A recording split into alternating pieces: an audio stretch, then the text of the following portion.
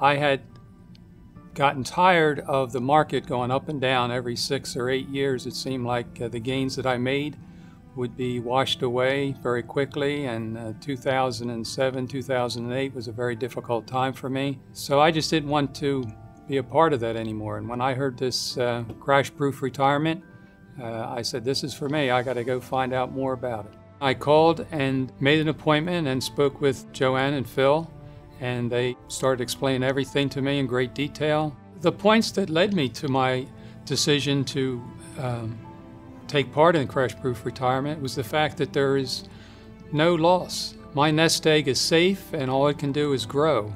And uh, that's not the case in the stock market, as I found out too many times through my life.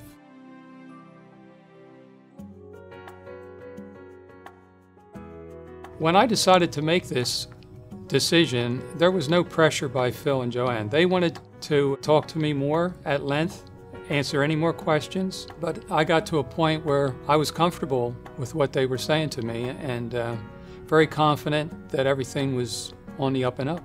I think they're doing a wonderful thing for people um, that have lost too much money in the stock market, and they're just helping so many people in such a positive way. I am so grateful that I've met them and uh, I'm grateful for the crash proof retirement system.